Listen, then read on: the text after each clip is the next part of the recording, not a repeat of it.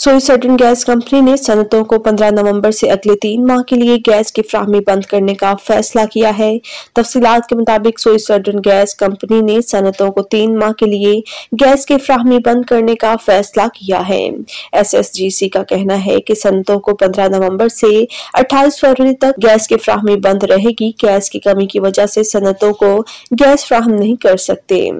एसएसजीसी का मजीद कहना है कि पहली तरजीह बलोचिस्तान और सिंध के घरेलू सार्फिन है। फैसला गैस लोड मैनेजमेंट के तहत किया गया है।